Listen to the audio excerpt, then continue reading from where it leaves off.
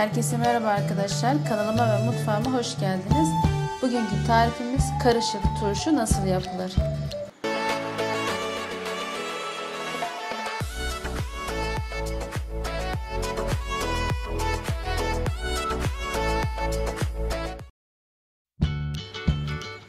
Malzemelerimize geçiyoruz.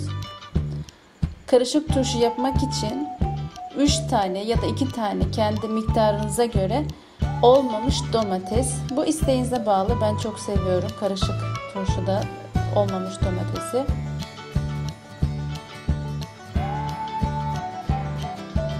Yeşil domates bazen marketlerde satılıyor. Bazen pazarlarda. İçi kırmızı olmasın. Yani en fazla kırmızısı bu benim yaptığım kadar olabilir. Daha fazla olursa domates tadı alırsınız içinde. 3 tane havucu yeterli gördüm. Yıkadım, soydum. Ortadan ikiye kesiyorum. Büyükse 3'e bölüyorum. Küçükse 2'ye. Berevine böyle yukarıdan aşağı ince şekilde karede kesebilirsiniz, küpte kesebilirsiniz. Kesme şekli sizin isteğinize kalmış.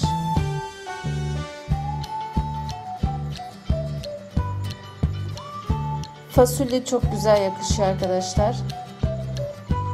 Fasulyeleri de ayıkladım, temizledim. Acı biber. iki tane turşu yapacağım. Yani iki şişe turşu yapacağım. Bir tanesini tatlı, bir tanesini acı yapacağım.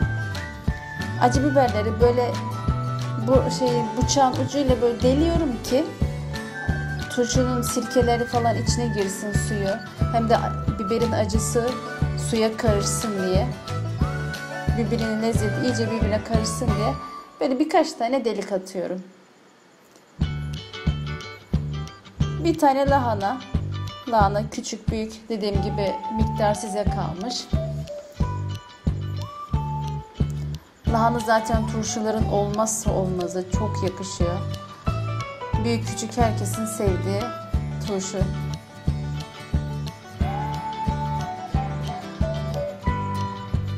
Ben turşularımda sarımsak kullanmıyorum arkadaşlar. Yıllardır da aynı şekilde kullanmıyorum. Yani kullanma sebebim e, sarımsak turşuya koku kattığı için yani dışarı çıkacak olduğunuz zaman falan sarımsak yiyemiyorsunuz ya da yediğiniz ağzınız koku insanları rahatsız etmek istemiyorsunuz falan. O yüzden yıllardır hiç sarımsak koymuyorum. Sarımsak yerine sirkesini daha fazla koyuyorum. Ve bozulma da olmuyor hiçbir şekilde. Erimiyor da. Eğer sarımsak kokusundan rahatsız oluyorsanız size de böyle tavsiye edebilirim.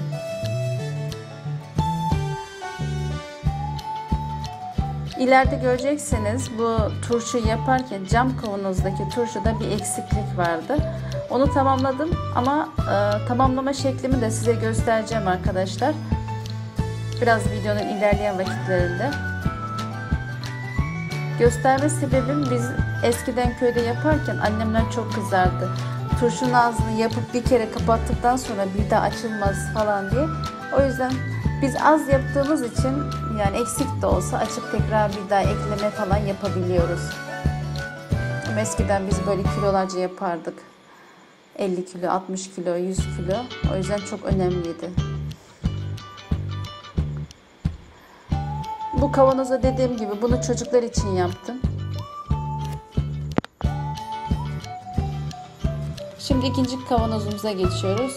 Bu plastik bir kap kullandım. Ve bu biber daha ağırlıklı biber turşusu olacak. Yine yerleştiriyorum. Havuç, biber, fasulye, domates, lahana.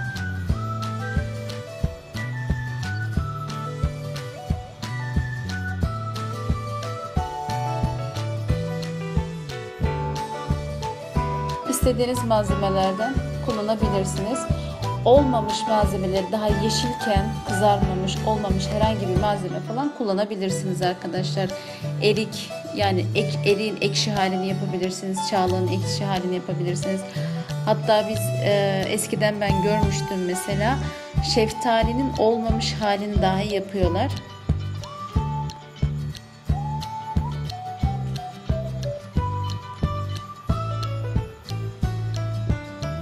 Yine ikincisini de Yukarıdan aşağı bastırarak bastırarak yapıyorum.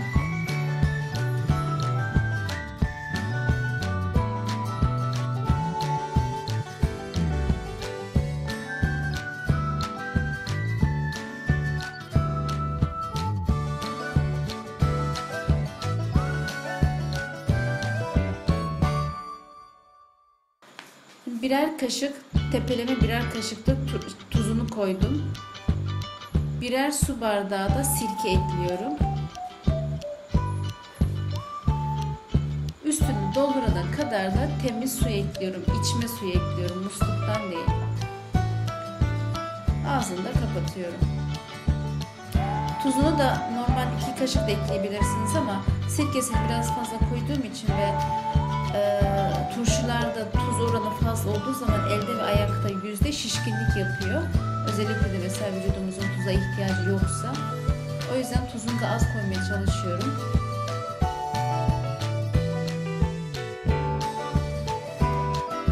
Bu verdiği malzeme miktarları arkadaşlar 1 litre için geçerli. Eğer 1 litreden fazla yapacaksanız siz malzemeleri ve o ilk miktarları artırarak yapabilirsiniz. Başında demiştim bir hatam oldu diye. O buydu arkadaşlar. Pancar koymayı ya unutmadım daha doğrusu ama almak için vaktim olmamıştı. Alamamıştım. Birkaç saat sonra alabildim. O yüzden bunu size göstermek istedim. Bir litre için bir tane orta boy kırmızı pancar yetiyor. Çok güzel renk veriyor. Hem lezzet veriyor hem de renk veriyor arkadaşlar. Yani koymanızı tavsiye ederim. Turşumuzu çok güzel gösteriyor. Hatırlıyorsanız yaptık kapatmıştık ağzını bir güzel.